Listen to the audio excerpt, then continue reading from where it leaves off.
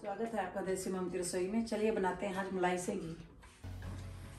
तो मलाई बनाने घी बनाने के लिए सबसे पहले बनाएँगे मक्खन।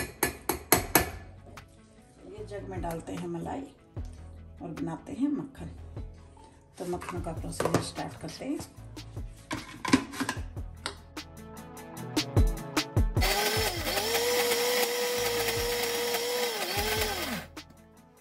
अब इसमें डालते हैं थोड़ा सा पानी।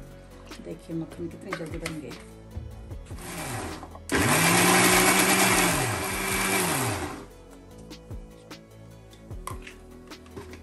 देखिए मक्खन हो गया तैयार, दो सेकंड के अंदर।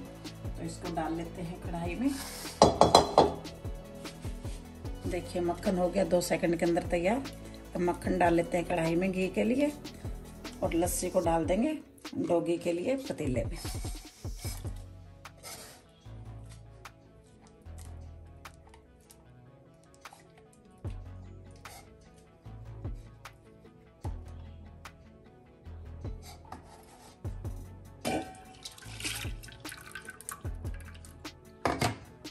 ऐसे हम इस मलाई का भी मक्खन बना लेंगे और फिर बनाते हैं घी।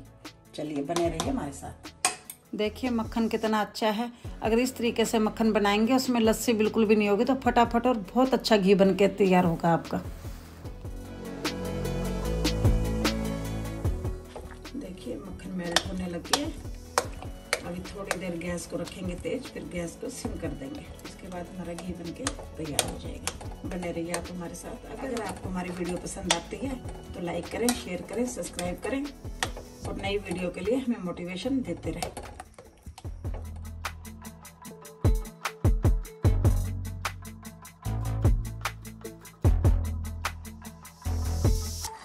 देखिए ये बनना शुरू हो गया।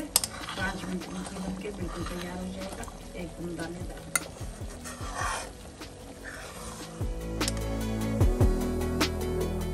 देखिए, अब इसको ऐसा चलाते रहे क्योंकि घी बिल्कुल बनने पे आ गया है। तो अब इसको चलाते रहें ताकि नीचे लगे ना घी।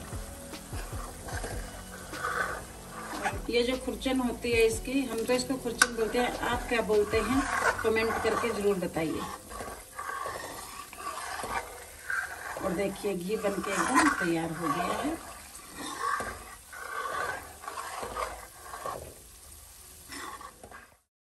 देखिए, घी डालते हैं डब्बे में।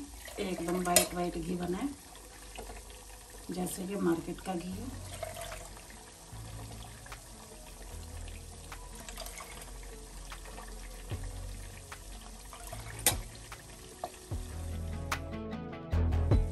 देखिए ये कुल आठ दिन की मलाई थी, डब्बा भर के तैयार हो गया। कम से कम एक किलो घी निकला है और आप इसी तरीके से बनाएँगे तो आपका भी घी ऐसे निकलेगा।